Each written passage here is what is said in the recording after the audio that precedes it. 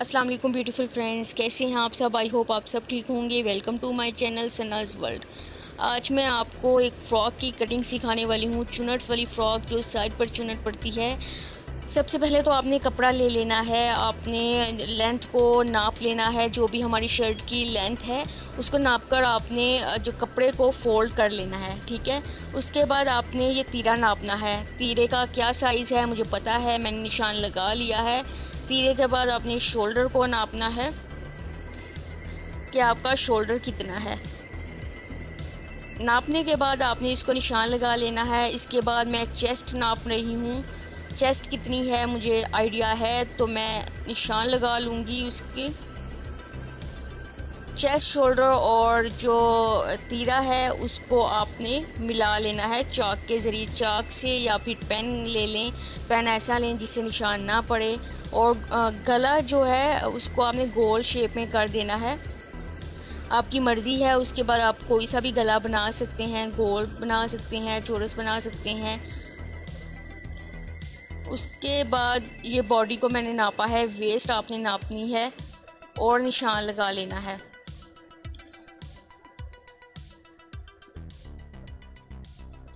ये देखिए, मैंने निशान लगा लिया है। शर्ट को नाप कर मैं इसलिए नहीं दिखा रही क्योंकि मुझे अपनी शर्ट का आइडिया है कि कितनी लेंथ होती है, कितनी वेस्ट होती है। आप अच्छी तरह से नाप कर फिर ही निशान लगाएँ। और जो स्टिचिंग शर्ट होती है, उससे आपने ज़्यादा ही निशान लगाना है, क्योंकि ये शर्ट जो है स्टिच भी होनी है फ्रॉक जो है। बहुत ज़बरदस्त ये फ़्रॉक तैयार होने वाली है। ये देखें आपने टेरा इसको तिरछा जो है, निशान लगाना है, क्योंकि ये शोल्डर है, इधर स्लीव्स आएँगे। इस तरीके से आपने निशान लगा कर उसकी कटिंग कर लेनी है। ये मैं कटिंग करके भी आपको दिखा देती हूँ।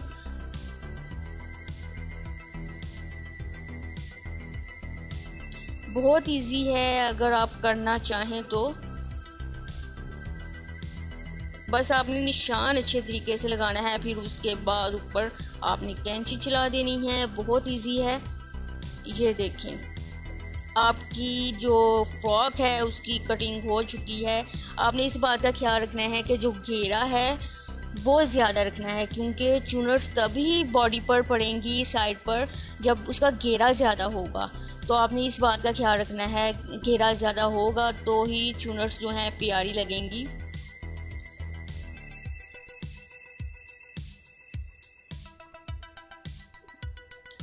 ये देखें। ये चुनर्स मैं आपको डालकर दिखा रही हूँ। ये साइड पर चुनर्स डल जाएँगी। दोनों साइड पर। Left and right. ये देखें। ये इस तरीके से चुनर्स डलेंगी। ये फुल शर्ट देख लें, कितनी ज़बरदस्त लग रही है। इस पर चाहें तो आप डोरी लगा सकते हैं। ये देखें डबल शर्ट है। जो पीछे वाला गला है, वो आपने थोड़ा उसकी ज़्यादा कटिंग करनी है। ये मैंने बैक साइड की ज़्यादा कटिंग कर दी है, गले की, ठीक है? ये आप देख। लें ये देखिए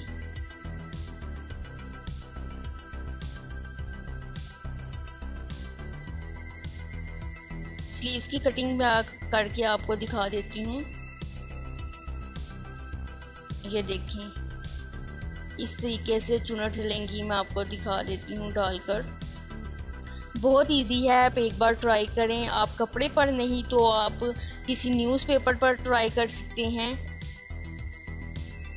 बस आपने जो नाप लेना है, वो अच्छा लेना है और निशान अपने अच्छे तरीके से लगाने हैं। ये देखें, इस तरह से चुनट से डाल जाएँगे। आप चाहें तो यहाँ डोरी लगा सकते हैं, लेस लगा सकते हैं।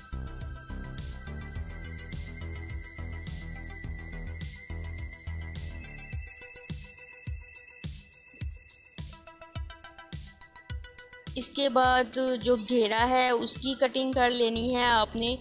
क्योंकि सम टाइम ऐसा होता है कि वो सीधा नहीं होता है, या फिर बॉर्डर जो है उसका काटना होता है।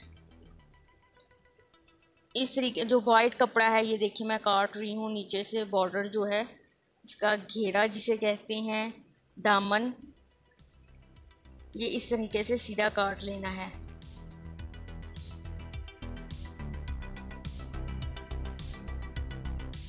सम टाइम रेप भी आई होती है तो आपने इसकी कटिंग कर लें ये फ्रॉक की कटिंग हो चुकी है।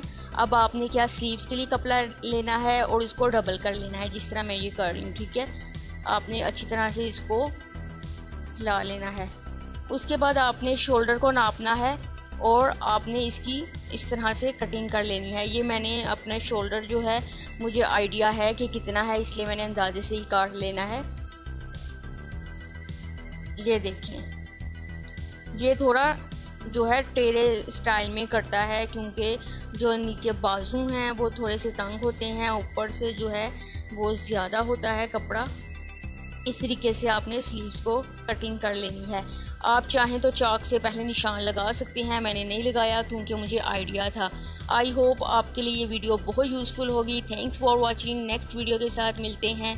अपना बहुत ख्याल रखिएगा, दुआओं में याद रखिएगा। अल्लाह हाफिज़।